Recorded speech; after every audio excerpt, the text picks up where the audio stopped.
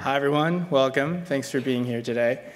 My name is James Saryerwinnie. I'm a software development engineer at AWS, and I work on Python tooling there. So some of the things I work on include Boto 3, which is the AWS SDK for Python. I also work on the AWS CLI, and another project is AWS Chalice, which is a serverless micro framework for Python. And we just did a tutorial of that today, or earlier this week at EuroPython, and uh, there's a link that we tweeted out if you're interested. But I'm going to be using some of those projects that I work on as examples today throughout the talk, and I'm going to show you some techniques for debugging when some of the more traditional techniques like print statements and um, log statements don't really cut it. So at first you might think, is debugging really that important? Or I mean, how much time do we actually spend debugging? And I tried to find an answer to this.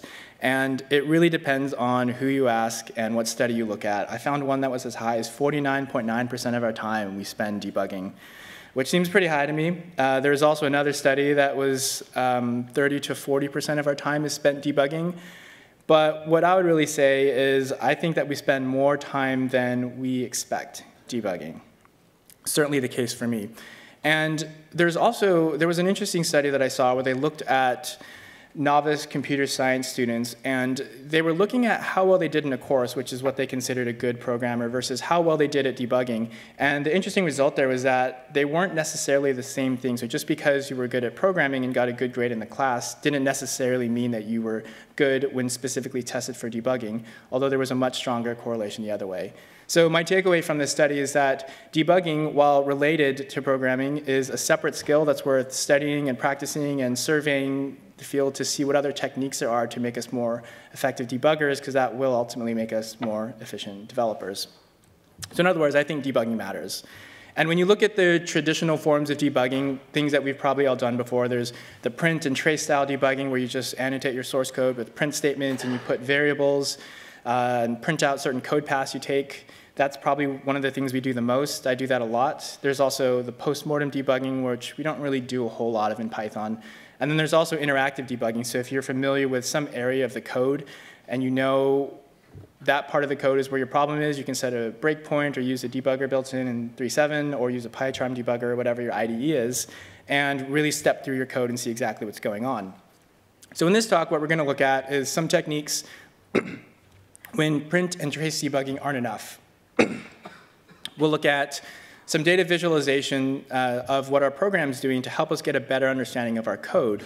And in that same study, one of the things they cited was that really a lot of the issues with debugging and one of the things that prevents people from being good debuggers is being able to get a mental model of what the code is doing. And so a lot of times you either don't have a mental model of how the code's supposed to work or your idea of how the code's supposed to work is actually wrong and that's the result of where a lot of bugs come from. And I think data visualization helps with that. It gives you a quick overview of what your code is doing and helps you troubleshoot faster. Now, I'm going to show you three visualizations. We're going to go from a fairly easy visualization and then just go in order of complexity. And for each one of these, I'm going to give you a real-world example of where I use this technique to help try to troubleshoot a bug that I was working on. But some of the things to keep in mind is just like with log or print statements that you add to your code, it's not really meant for production code. So when you're done with it, you throw away the changes that you've made, and hopefully you remove your print statements before you commit and push your code.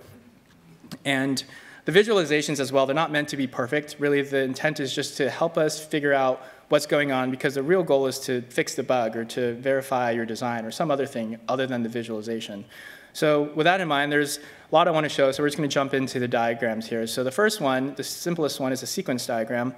And if you haven't seen it before, this is an example of what it looks like. You read it left to right, top to bottom.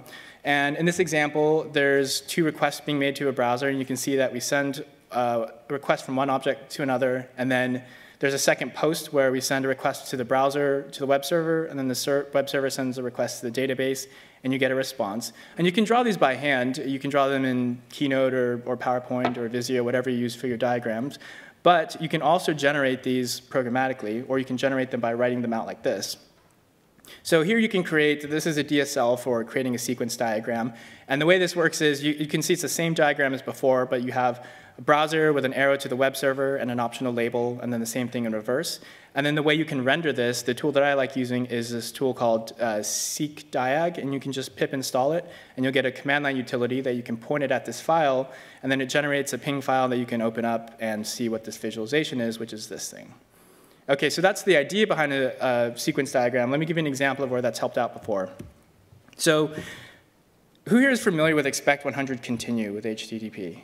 Okay, I, I certainly wasn't when I, until I started working on the SDK.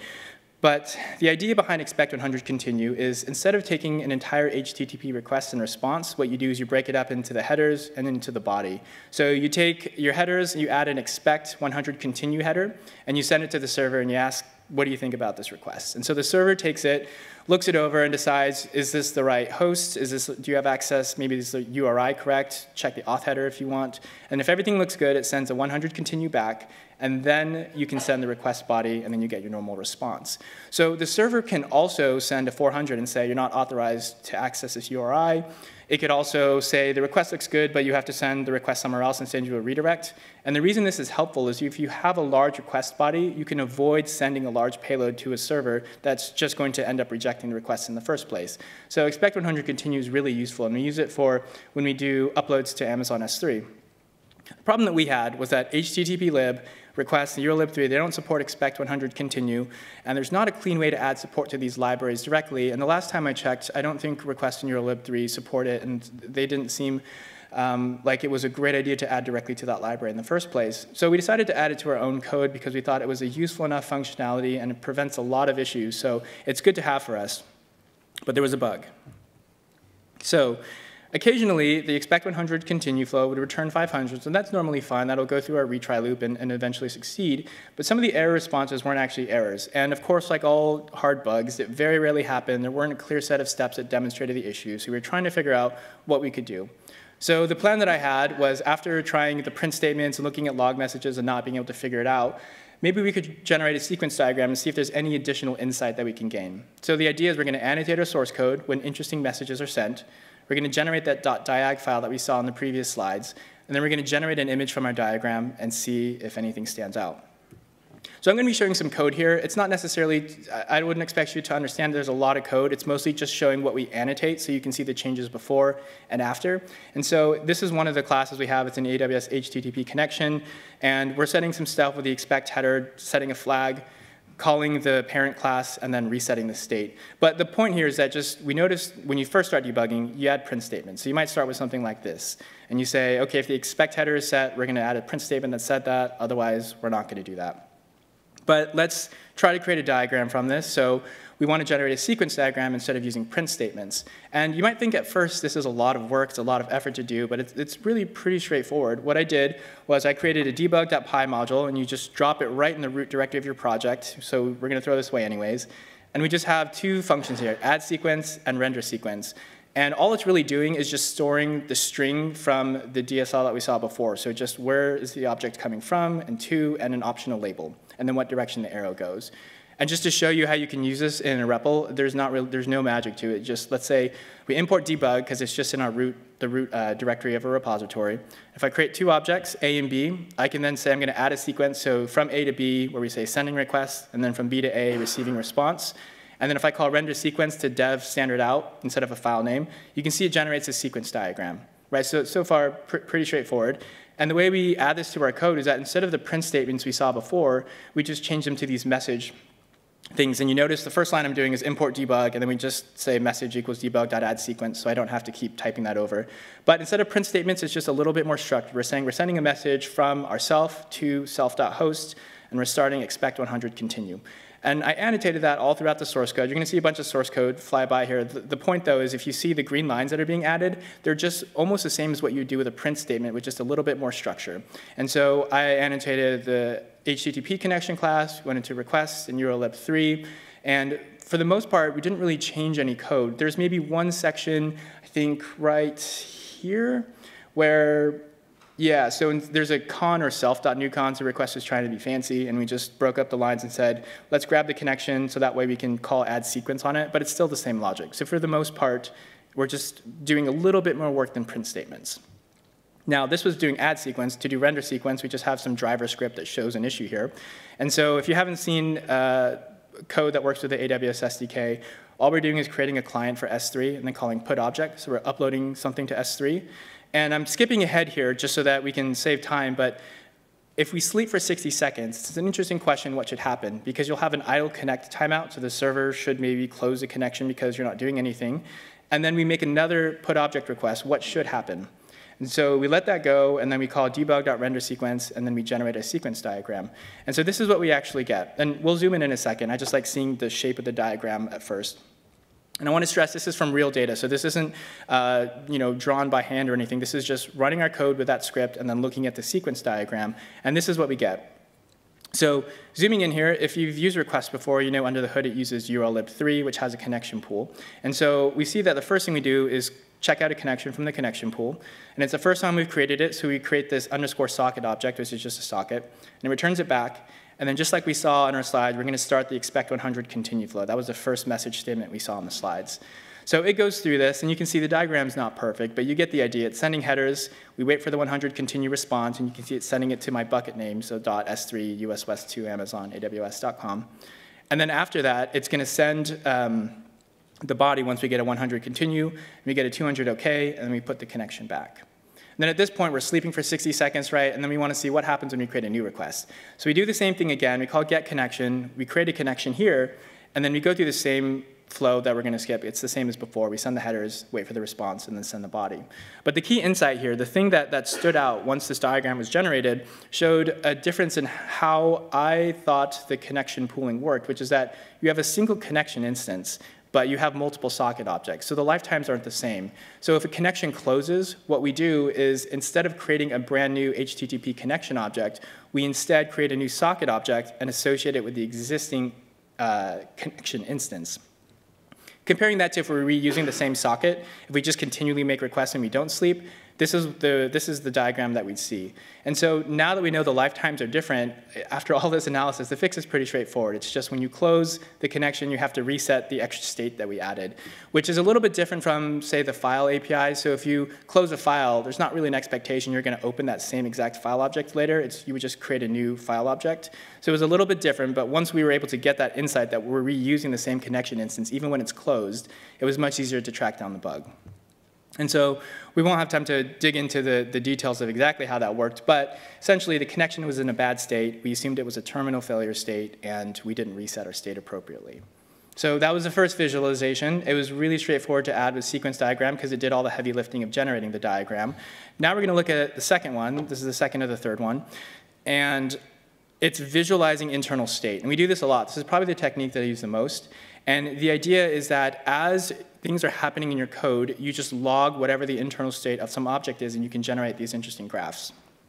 So to again give a use case where we tried to, where this was really, really helpful, we're going to try to download a file. It's, it seems like it's a pretty straightforward uh, thing to do at first. And so if we wanted to download, say, a video file or something, the easiest way you would do it, assuming it's big enough where you can't just hold the whole thing in memory, say it's 100 gigabytes or something, right? So what you would do is you would take the first chunk, and you would download a file and maybe just write it to your local file. And then you take the next chunk of the remote file, download it, write it, and you keep going, and eventually you would have the entire file downloaded, right? And that works, and that's pretty straightforward. But what we do in the CLI is we take the file, and then conceptually we break it into chunks. And for each chunk, we then have a thread, a thread pool that's assigned to individual chunks of the file and they download the file in parallel. And so whenever they're downloading a file, the writes can come out of order, and we just seek to wherever the offset is in the file, and then write out the data. And so at some point in time, your file could look like this. It, there's just whatever data we have downloaded, we just write it out to that location. But eventually, you will get your entire, your entire file written just the same as we've done it sequentially. And if we actually look at data here that plots the I.O. writes, this is using matplotlib, these are the sequential, this is actual data writing um, where the S3 writes are happening within the file. And so we just took the file and shifted it vertically. So the bottom of the file, the beginning of the file is y equals 0, and then the y max is the end of the file. And you can see each thread is writing at the same time to different parts of the file. And so you can see how this kind of parallelism um, can give a nice uh, boost in performance sometimes. But that, and that itself is pretty, pretty non-trivial to write, but we wanted to, there was an interesting use case we had where we wanted to download to a non-seekable stream. I should ask, has anyone used the AWS CLI before? Okay, cool. So um, this is a CP command. This is where we're downloading from a bucket and uh, to standard out. And so that way we can just pipe it to say gunzip and then pipe it somewhere else and send the data, and we don't need to have a local buffer. So if you have a large, say, I don't know, 500 gigabyte file or something, you don't need 500 gigabytes of temporary storage to download the file to. You can stream it directly to a pipe. So the problem that we had was that here you can't do this because you have to write data sequentially, right? You can't, there's no seek on, on the pipe. So one thing you could do is you could just stream it, just like we were doing before, and very early versions of the AWS CLI did that. But we wanted to see if there was something better we could do, because let's still assume that downloading is a bottleneck, that writing to disk locally is much faster than downloading remotely. So the initial idea that we had, that we implemented, was let's just have a buffer, right? And so when you're, and you do the same thing with your thread pools, but instead, all you're gonna do is hold on to it in memory. And if it's not the next contiguous block, you just keep buffering it. And then eventually, once that buffer comes along and you now have a contiguous range, you can then take that and flush it to disk, right? So there was a problem with this. We implemented this, it worked. And during development, we noticed that there was a pretty big problem which is in the worst case, you buffer the whole file, right? So if you're waiting on one chunk of the file, and you know, networks are, are lossy, networks have congestion, sometimes things come out of order, and so if you're waiting on one part, you could potentially buffer, you know, a 500 gigabyte file in memory. So we wanted to fix this, and we tried to figure out what would be the best way to fix this without any huge performance hit. So what we ended up implementing, I, I did this sliding window algorithm, which is very similar to what TCP does, if you're familiar with that, and you just limit the range of what your file can download to. So the way this works is while you have parts that are downloading, you only allow them to download from that range. And it's not until something on the left side of the window comes in that it then unlocks that contiguous range. And so you take that, you flush it out to disk or whatever your pipe is, and then that moves over and the window slides over, and then that's the new part you can download, and that's your new max. So that was the sliding window. And we're not going to look at the, the code. It gets a little more involved because there's threads and you have to have semaphores and, and the appropriate locks. But essentially, there's an acquire, which is on the right-hand side of the window, and then there's a release. And if the release is on the left side of the window, the window slides. And again, the, the, point here is I wanted to show you the green highlights, which is how we annotated the source code to be able to verify that this algorithm was working how we wanted. And we'll look at what the T function is in a second, but for the acquire, there's only one trace that we were interested in. And then for the release, there was three parts that we talked about. So one is if I try to release something in the middle of the window, then we just put it in a buffer. And if I release something that's on the left side of the window, then I can start flushing the buffer. And then potentially there's a chain reaction, because once I unlock something on the left-hand side, any other contiguous range can then be now released. So there's three events there.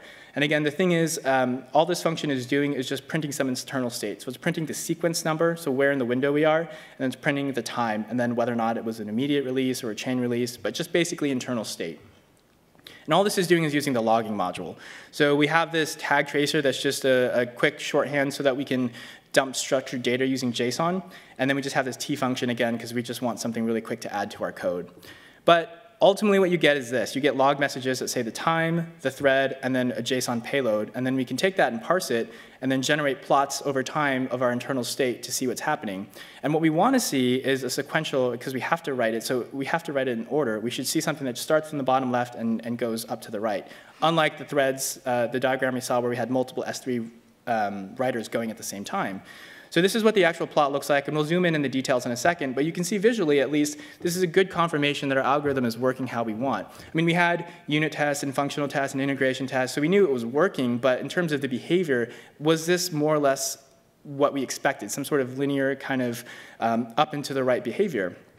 And if we zoom in a little bit, uh, this was, these are the four uh, trace events that we added that we saw in the previous slides. The acquire, which is the blue one, and then the three releases. And we'll pick a specific event and walk through it, but let's say that here the release always happens sequentially, but if something wants to be released, and we'll pick this data point here, so the release is requested, but it's not ready yet, we aren't able to release it until we just trace along that, um, the same y value. That's when the release occurs, but it only happened with, this is the delay, it only happened because that black dot there was what we were waiting for. So that's the left side of the window. And you can see immediately above that, the reds, those were the chain reaction. Those are the, the other things that could be released because they were just pending. And then immediately after that, you see the blue dots can immediately acquire the next part of the file, and that's the sliding window in action. So this was a good visualization for us to verify that, yes, this is in fact the correct mental model. This is how it's working. It does seem to be working how we expect. And we could look at different window sizes. So the previous graph was window size of 10. This is a window size of 100. And the, really the only trade-off you're making is just you can potentially stall and have a bigger buffer size, right? So here, um, I think the window size is 100 and it looks like the stall is maybe 50 slots. So as long as we're okay with a stall of 100, then this is a decent window size. But as we start to look at bigger window sizes, you can see the total time doesn't really change. You're just buffering more memory, so you don't really gain a whole lot from having a bigger window size. So the takeaway here was by generating log statements that just graph internal states, you can then parse them and start to create really interesting plots to verify the behavior of your algorithms to make sure they're doing what you expect, make sure you have the correct mental model. So the third one that we're going to look at is creating a custom diagram. So, so far we've been really leveraging other tools to do a lot of the heavy lifting. So matplotlib for us, and then we also use seqdiag. But there's sometimes when you have some sort of visualization in mind and no existing tools really creating exactly what you want. So for this, we're going to generate our own custom diagram. And to keep with using the CLIs, going to have to explain new concepts. We're going to look at uploads now. So there was a problem very, very early on. I think this was version like 1.0, five years ago. So it's more, it's not really that interesting anymore, but it's interesting in terms of the visualization because this has long been fixed. But there was a case where there was a high CPU usage. So the thing would work, but it seemed like it was consuming unnecessary CPU usage. And we were trying to figure out what caused it. And the way that uploads work is similar to downloads. There's a producer-consumer pattern. And you would take something from the queue. So you'd have a worker thread, pull something from a queue, and then in some interesting cases, it would take work from the queue, the worker thread would look at it and decide it can't do anything with it, so it'd put it back on the queue.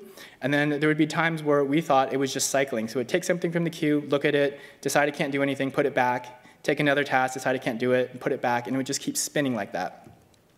And here's, here's what the actual worker thread looks like. It's, it looks like a lot of code, but the gist is grab something from the queue, which is going to be a reference to a function, and if we can call it, invoke it, put it on the result queue, and if not, we put it back. And all I'm doing here, there's these log.debug statements, and instead of internal state, we're just logging when certain events happen. So we're interested, when do we get a queue? Uh, when do we get an event from a queue? When, does the, when do we start to invoke it? When is it finished? When do we put it back? So that's that queue put back in the middle there. And really, again, this is the main takeaway, just the things that we highlighted. It's maybe five, six lines of code, and we're just emitting when certain events happen. And so the way that we parse this is we have a log file here that just has a various number of events. But even looking at this, it's kind of hard to tell because if you notice there's a bunch of threads here. There's thread 2 to thread 7, and it's calling get at certain points, and it's really hard to see the state transitions or the, the state diagram here. And so we wanted some sort of visualization to help confirm some of the suspicions we had. So what we do, take the timestamp, the thread and the message, and we put that in a name tuple, so we go through each line and parse those out just by splitting on the hyphens. And then from there, we group them by threads because we want to see a visualization of each thread at each time. And so we have things like what time did it start, what time did it end, and then based on the actual, if it's an invoke start or invoke multi-start, we pick the event type. And then once we have that, we're ready to generate our image. And I know that went really fast because the thing I want to focus on is just how to use Pillow, which is what I use to generate the image. Uh, if you haven't heard of it, it's a fork of the Python imaging library. When I had used it before, I'd really only thought it could do image resizing, generating thumbnails, you know, rotations and cropping, that kind of stuff. But there's, I think it's almost a hidden module. There's an image draw module where you can, it has primitives for drawing lines and rectangles and circles and basic shapes, and you can generate an image from scratch. And so that's what I did here.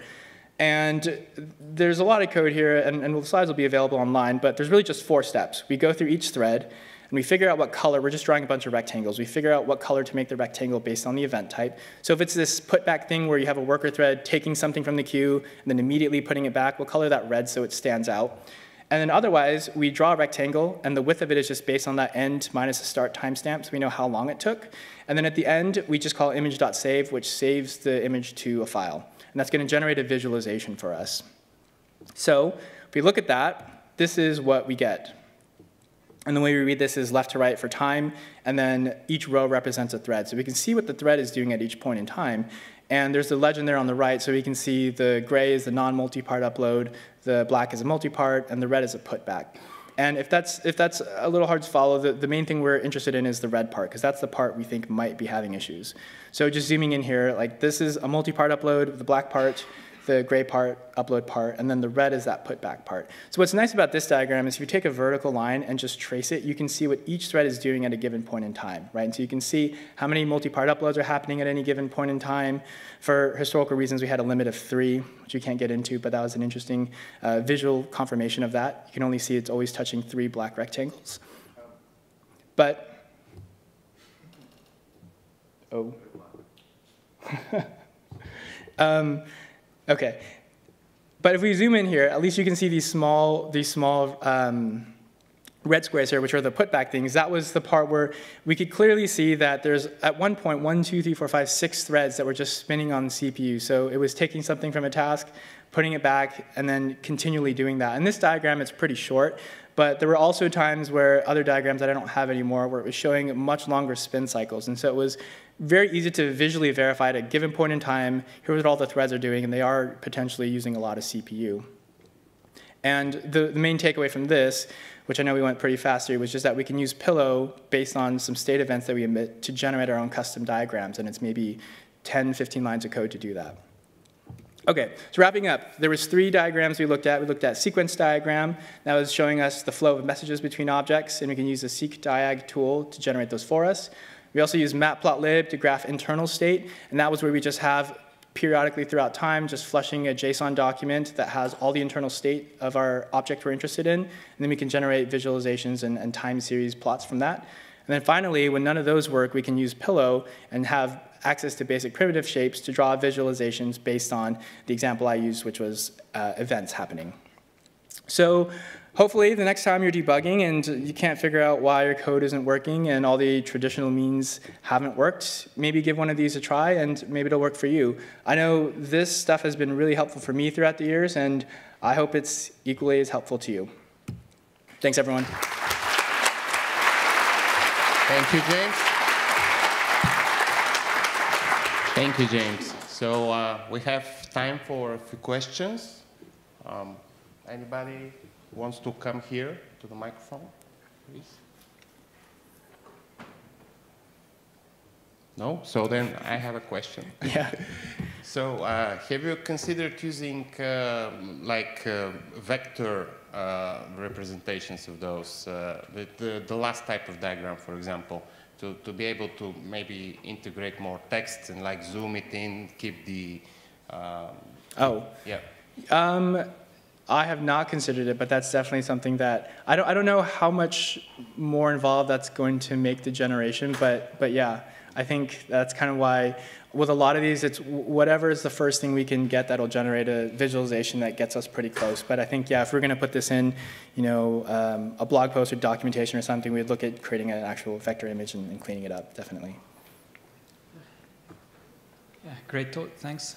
Uh, just a small question when you test this code, you test it in production or in a test environment because you don't want to put your code, you know, to the repository mm -hmm. instead. So what do you do for the actual testing part? Yep, so for the testing part, it's usually not in production. It's usually on some sort of test environment that we try to, and a lot, sometimes for these code, especially the ones that run a long time, we'll have to leave it running, you know, sometimes for a day or overnight or something because it, takes a while for the bug to reproduce. So you generate a lot of data.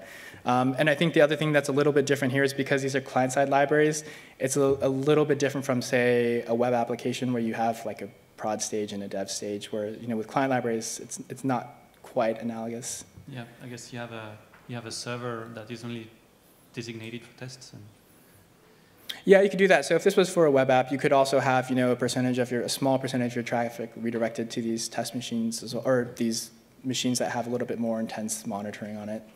Yeah. Other questions, maybe? So, okay. Sorry, because um, I will ask a very general question because I will really uh, programmatic. Uh, I want to I want to learn uh, learn something and take take from take away to apply my code debugging. What's your suggestion? Now, because that gentleman mentioned that you don't uh, you you won't definitely want to check out in the uh, report, right? Mm -hmm. So so what, what we can do or What's your sugge- suggestion? So I think one would be if you do have a test environment or you have ability to shift the percentage of traffic, you could do this. Um, the other thing though is that a lot of the stuff that I showed doesn't have a whole lot of overhead. It's mostly just we didn't want the cognitive overhead of seeing what are these trace things in the code. But I think just like refactoring code, if you do something and then you do it again, and then definitely if you do it a third time, you think, you know, maybe if we keep doing this, it's worth putting in proper, you know, code in there to do these traces.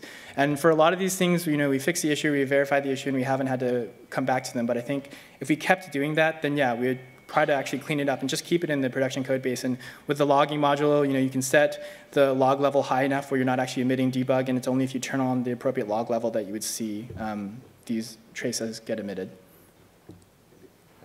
Thank you again, James. Thanks.